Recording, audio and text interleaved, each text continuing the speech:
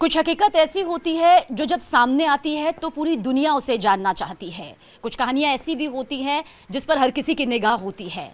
हिंदुस्तान से पाकिस्तान गई अंजू इस वक्त हमारे साथ मौजूद है और पूरा देश बहुत कुछ अंजू आपके बारे में जानना चाहता है। लेकिन सबसे पहले क्योंकि कहते हैं कि जब किसी के बारे में कुछ पूछना होता है तो उसकी पहचान सामने आनी ज़रूरी होती है। तो अंजू कहकर बुलाया जाए या फातिमा?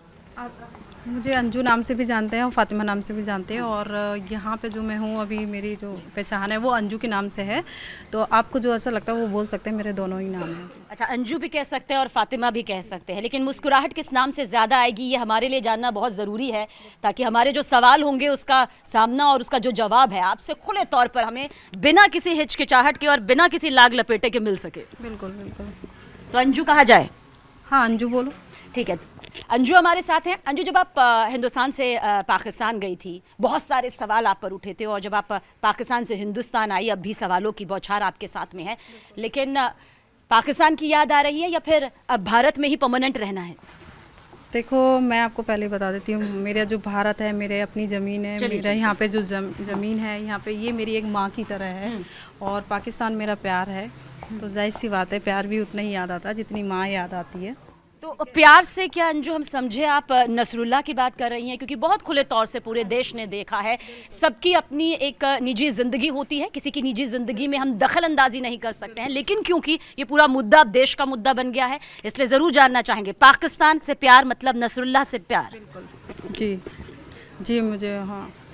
उतनी ही मोहब्बत है जिस मोहब्बत के साथ आप गई थी? बिल्कुल उतनी ही मोहब्बत है मुझे और जिस मोहब्बत से गई थी और वो है भी और इस तरीके से। लेकिन अंजू फिर वापसी आखिर क्यों हुई? आखिर ऐसा क्या हुआ जो वहाँ पर वहाँ से वापस आपको आना पड़ा? सबसे पहले बात यही बता देती हूँ कि वापसी क्यों हुई? ये क्वेश्चन तो बनता ही नहीं है क्योंकि देखो मेरी जो प्लानिंग थी मैं जो गई इस तरीके से थी कि मुझे वापस भी आना है। हम्म। ऐसा नहीं कि मैं हमेशा हमेशा के लिए छोड़ छाड़ के चली गई ऐसा नहीं था मेरा प्रोसेस मैं। जो लेकिन आप बता कर गई थी घर में क्योंकि हम जब भी कदम रखते हैं घर से बाहर तो ज़रूर बताते हैं। कम से कम जिसके साथ साथ फेरे लिए हैं वो उम्मीद करता है कि मेरी पत्नी अगर घर की चौखट से बाहर जा रही है वो भी पड़ोसी मुल्क जा रही है। तो कम से कम बता कर जाए कहाँ जा रही है? आपका बात सही है कि अगर मेरे एक्चुअली बात यह है कि मैं अपनी इंडिपेंडेंट हूँ मैं खुद वर्किंग थी और मैं खुद सर्वाइव कर रही थी अपने बच्चों को मैं खुद कैरी कर रही थी और सारा कुछ मैं देख रही थी। मैं खुद अपने डिसीज़न में अपने लेती थी और जो हस्बैंड के साथ थे वो पहले से संबंध ठीक नहीं थे मेरे तो इसलिए मुझे लगा नहीं कि मुझे क्या पूछना चाहिए क्या नहीं पूछना चाहिए। और मैंने अपने बच्चों को ध्यान में रखते हुए मैंने ये कदम उठाया है कि सब कुछ कि मतलब मैं जाऊँगी मेरे लिए सेफ़ है मैं जाऊँगी भी और वापस भी आऊँगी मैं। और पाकिस्तान से आपको भरपूर प्यार मिला? हाँ बिल्कुल बहुत भरपूर प्यार मिला और बहुत अच्छा रहा वहाँ का जो चार महीने आठ दिन मैंने वहाँ गुजारे हैं। और जो भी वहाँ पे टूरिस्ट जितनी भी जगह हैं वो घूमी मैं वहाँ पे। लेकिन अंजू क्या वापसी करना चाहती हैं या फिर आपको लगता है कि अब एक नई ज़िंदगी अपने बच्चों के साथ क्या बच्चे ये वजह रहे कि आप वापस आए देखो बच्चे वापसी तो मुझे आना ही था किसी भी हालत में वापस आना ही था मुझे अपने बच्चों के लिए भी आना था वैसे भी आना ही था मुझे क्योंकि मैं एकदम ऐसे नहीं गई थी कि मैं मुझे वापस नहीं आना करके।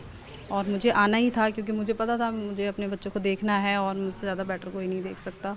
तो इसलिए मुझे आना ही था वापस और मेरी यहाँ की नागरिकता है मेरी यहाँ की नेशनलिटी है तो ज़ाहिर सी बात है मुझे तो आना ही था ऐसी कोई वो नहीं अंजू आपने कहा कि बच्चों के लिए तो वापस आना ही था लेकिन इस बीच आपके बच्चों से भी सवाल पूछे। हालाँकि हमेशा से हमारा मानना रहा कि बच्चों को किसी तरह से मानसिक प्रताड़ना नहीं होनी चाहिए। लेकिन क्या आपके बच्चे जानते थे? आपकी बेटी मेरे ख्याल से पंद्रह से सोलह साल की उम्र में है और वो जानती है। एक लड़कियाँ कहते हैं वक्त से पहले ही मेच्योर हो जाती है, गंभीर हो जाती है। क्या वो जानती थी कि आप जा रही हैं? क्योंकि उस दौरान वो नहीं जानती थी और हमने उन बच्चों में भी वो दर्द देखा माँ के जाने का देखो वो स्टार्टिंग में जो माहौल बन गया था ना उस वजह से वो दर्द और घर की जो मानसिक अवस्था है वो इसलिए ऐसे हो गई थी बाकी जैसे मैं पहले जो बातचीत हम्म। करती थी उनसे और वहाँ पे बातचीत करती थी ये बच्चों को मालूम था हम्म। और ऐसा नहीं कि मैंने छुपाया किसी से और सबको मालूम था और खासतौर से जो बेटी है वो मेरे साथ काफ़ी फ्रैंक है तो उसको भी पता था वीडियो कॉल पर बात भी करते थे और सब कुछ और इसको बोला भी था कि मेरे को एक बार जाना है और हाँ। जाते समय मैंने इसलिए नहीं बताया क्योंकि चाहे बेटी हो चाहे किसी को भी बता दी पाकिस्तान के नाम से मुझे कोई नहीं जाने देता कोई नहीं जाने देता हाँ ये है कि बॉर्डर पे जाने के बाद मैंने कॉल भी करी थी हम्म। और ऐसा नहीं है हमारी भी यहाँ की अपनी फॉर्मेलिटीज़ है जो मतलब बॉर्डर पे जाके हाँ। मतलब कॉल किया घर पे कॉल किया पेरेंट्स को तो उन लोगों ने उठाया नहीं कॉल अगर उठा लेते मेरे ख्याल से जाने भी नहीं देते लेकिन अंजू कुछ सवाल ये भी खड़े हुए कि हर प्यार की एक सीमा होती है और सीमा हैदर पाकिस्तान से हिंदुस्तान आई लेकिन अपने बच्चों के साथ आई क्या अब कुछ ऐसा है आपके मन में कि क्योंकि आपने खुले तौर पर नेशनल चैनल पर कहा है कि आप भी नसरुल्ला से प्यार करती है इसलिए आपने फातिमा यहाँ पर किया। आप इसको बेबाकी के साथ अपना भी रही हैं। क्या ऐसा है कि आप अपने दोनों बच्चों को लेकर पाकिस्तान जाना चाहती हैं? अभी ऐसा कुछ भी नहीं है और अभी फ़र्स्ट ये है कि मैं उनको यहाँ पे बुलाऊँगी। मैं उनको यहाँ पे बुलाऊँगी और नसरुल्ला को? हाँ जी। जी। उसके बाद देखेंगे जो आगे जो बच्चों के लिए जो बेस्ट फ्यूचर होगा वो करेंगे हम। बच्चे अपनाने को तैयार हैं लेकिन क्योंकि बच्चों का अपनाना मेरे ख्याल से बहुत ज़्यादा ज़रूरी हो जाता है। बिल्कुल बिल्कुल बच्चे जब मुझे एक्सेप्ट किया था और शादी से पहले तब से ही उनको भी एक्सेप्ट किया ना साथ साथ मेरे साथ तो बच्चे हैं मतलब बच्चे बात के लिए आपकी बेटी तैयार है आपके बच्चे तैयार है हालाँकि बेटा आपका बहुत छोटा है मेरे ख्याल से अभी इस चीज़ को समझ नहीं सकता है लेकिन बेटी अगर पंद्रह से सोलह साल की है तो क्या वो नसरुल्ला को अपना पिता मानने को तैयार है? देखो अगर अगर। मैं मैं, मैं बच्चों से ये नहीं कहती कि तुम इसको पिता बोलो उसको पिता बोलो उसके जो पिता है वो पिता रहेंगे। मैं कोई फोर्स नहीं करूँगी उसे जस्ट ठीक लगता है वो करे। हाँ। और वो समझदार है और आगे जो भी होगा आएँगे वो डिस्कस करेंगे वो भी बात करेंगे बच्चों से। और उस तरीके से हम फैसला लेंगे जो भी बच्चों को बेटर लगेगा जहाँ रहना है जैसे जो बहुत सारे वीडियोस आए किसी ने कहा ये निकाह का है किसी ने कहा ये निकाह का नहीं है किसी ने कहा कि सिर्फ़ ये टेबल पर खाने की है किसी ने कहा कि नहीं निकाह के बाद एक प्रोसेस होता है उसका है। आपसे जानना चाहते हैं नसरुल्ला के साथ आपका निकाह हुआ या फिर नहीं? हुआ मेरा निकाह हुआ उनके साथ और जो खाने पीने की बात है वो तो नॉर्मली हम किसी होटल में गए थे उनके अपने फ्रेंड सर्कल थे उनके साथ में गए थे खाना पीना खा रहे थे होटल में। लेकिन अंजू क्योंकि आपने कहा कि भाई भारत में आप जन्मी हैं ये भारत आपका अपना है आप यहीं पर रहना चाहती हैं। लेकिन आपको लगता है कि जब आप शादी के बंधन में बनते हैं तो पहले उस बंधन को एक संवैधानिक प्रक्रिया के तहत आपको अलग भी होना होता है? क्या वो आपके पति से हुआ? क्या कोई ऐसा प्रोसेस चला जिसके बाद आप पाकिस्तान गई? वहाँ पर आपने निकाह किया? देखो मैं आपको बता देती हूँ देखो वो जो अ, मतलब कानूनी जो होता है डिवोर्स वगैरह वो मैंने यहाँ पे नहीं किया था क्योंकि ये इस इतना मुझे नहीं मालूम था इतनी कानून के मैं यहाँ पे ये नहीं करूँगी तो वहाँ पे मतलब वो हो जाएगा करके शादी करने के बाद ये कानून तोड़ दिया मैंने। तो इस चीज़ को मैं एक्सेप्ट करती हूँ यहाँ के कानून को कि अगर ये है तो इसलिए तो मैं आई हूँ। तो आप यहाँ पर आप ये कह रही हैं कि अभी आप अपने पहले पति से अलग होना चाहती हैं तलाक लेना चाहती हैं या फिर क्या आगे की सोच है अभी हाँ, आपकी? बिल्कुल। एक प्रक्रिया है और मेरे ख्याल से उससे हाँ, गुजरना ज़रूरी जो है। जो प्रक्रिया है और जो भी लीगली कार्रवाई होगी और हम उनसे भी मिलेंगे डिस्कस करेंगे और जो बच्चों के लिए बेटर होगा बेस्ट होगा वो हम करेंगे आगे। अच्छा नसरुल्ला कब आ रहे हैं यहाँ पर आपके लिए? क्योंकि ज़ाहिर सी बात है आप हिंदुस्तान से पाकिस्तान चली गई। अब नसरुल्ला की बारी आप कह रहे हैं। तो कब आपकी मोहब्बत कही जा सकती है कि वो हिंदुस्तान में आएगी? बिल्कुल ज़रूर और जल्दी आएँगे और अभी तो थोड़ा टाइम लगेगा प्रोसेस में तो बातचीत आपकी होती रहती हाँ है? बातचीत होती रहती है। और क्या बातचीत क्या होती है? क्या परेशान है आपको लेकर या उन्हें लगता है कि हिंदुस्तान आएँगे तो हो सकता है कि यहाँ पर अपनाया ना जाए? क्योंकि आप गई सवाल उठे। बहुत ज़्यादा थे परेशान मेरे यहाँ के आने के लिए भी बहुत परेशान थे इसलिए इतना मतलब वहाँ पे रोका मतलब मुझे रोका था कि उस टाइम मत जाओ माहौल ठीक नहीं है इसलिए मुझे इतना रुकना पड़ा। और अभी भी वही था उनके दिमाग में कि कैसे होगी कैसे क्या होगा सब कुछ। मैंने यही बोला उनको एक ही बात बोली कि देखो मैं सबको जो भी बात है मैं सबका सामना करूँगी सबका फेस करूँगी। जैसे मैंने स्टार्टिंग से बोला था कि मैं सारी मीडिया फेस करूँगी सब कुछ बताऊँगी।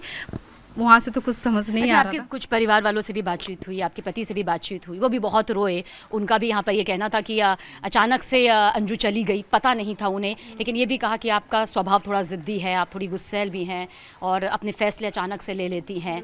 ज़ाहिर सी बात है जब दो तरह से होता है तो दोनों तरफ़ से आरोप प्रत्यारोप तो लगते ही हैं। क्या कहेंगे आप इस पर?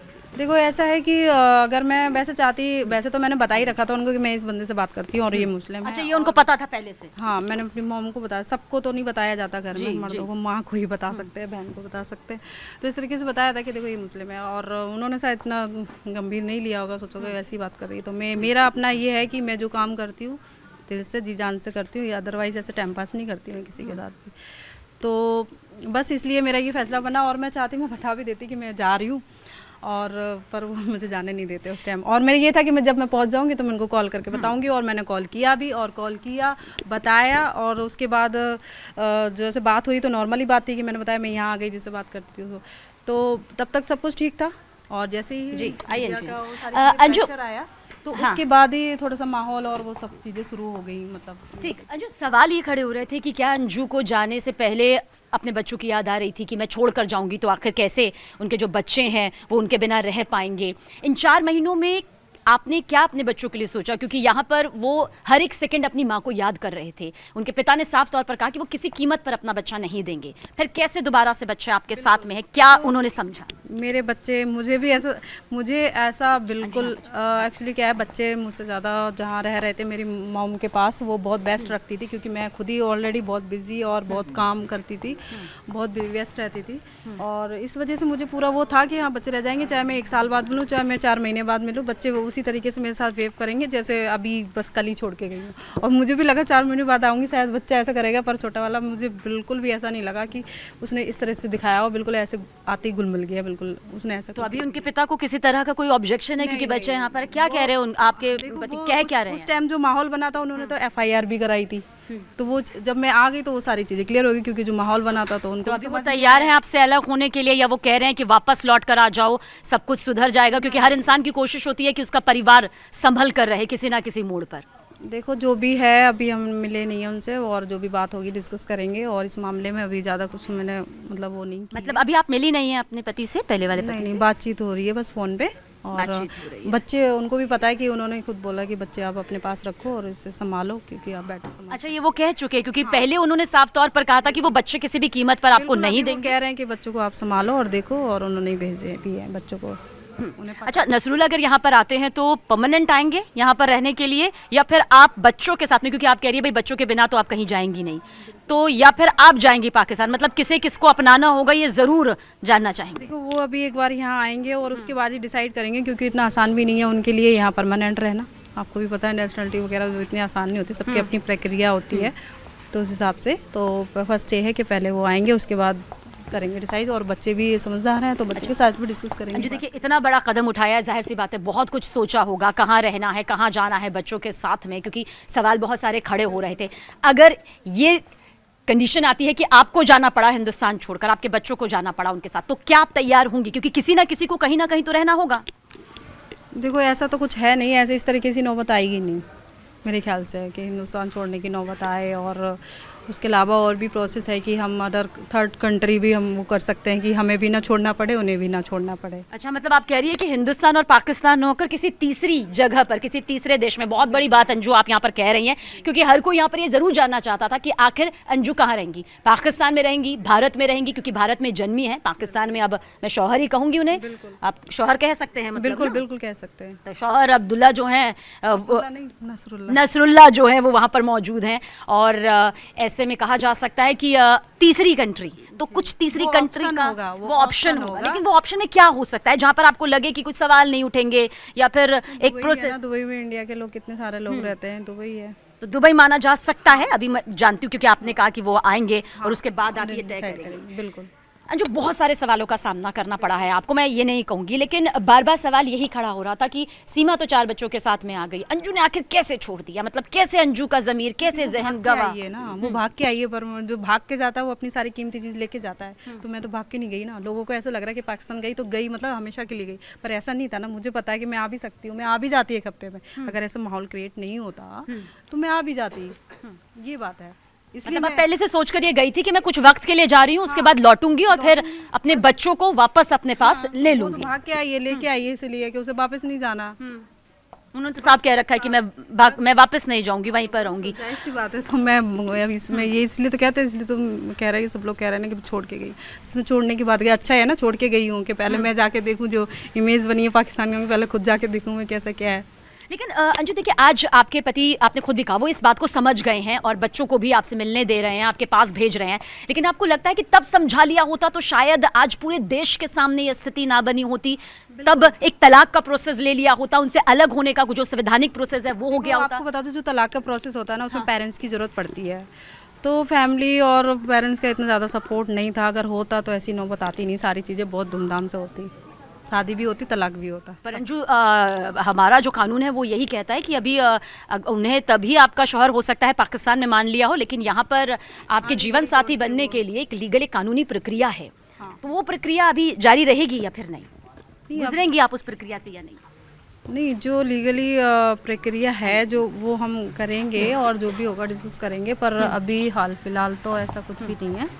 वो अपनी जगह पे है मैं अपनी कुछ ऐसी बात जो आप कहना चाहती हैं क्योंकि जिन सवालों का सामना आपने किया है वो सवाल आज हमने आपसे पूछे भी हैं। कुछ ऐसा जो आप कहना चाहती हैं देश के सामने जो आपको लगता है कि मुझे अपनी बात कह देनी बिल्कुल, चाहिए? बिल्कुल मुझे सबसे पहले सारे लोगों से यही मेरी अपील है कि जिस तरीके से मैं यहाँ की हूँ और मुझे समझा जाए मुझे समझने की कोशिश की जाए और मैंने मतलब इस तरीके से ठीक है मैंने कानून तोड़ा कि मतलब तलाक नहीं लिया पर इसका मतलब ये नहीं कि तलाक नहीं लिया तो मेरे उनके साथ बहुत अच्छे संबंध नहीं थे या जो भी हमारा पहले से ऐसा था इसीलिए मैंने इतना बड़ा कदम उठाया है।